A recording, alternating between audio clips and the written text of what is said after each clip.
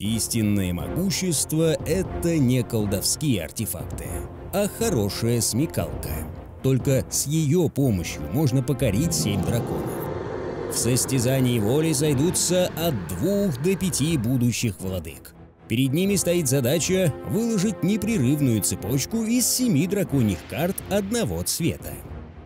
Каждый ход берете одну из колоды, а другую выкладываете, формируя игровое поле.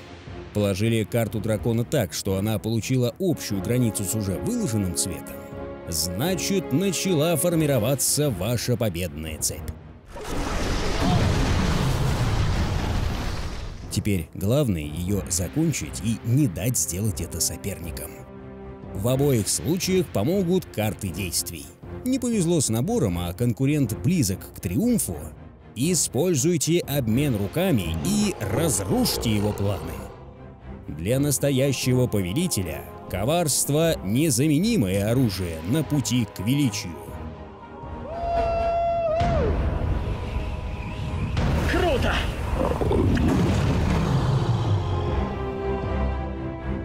Спрашивайте в магазинах вашего города.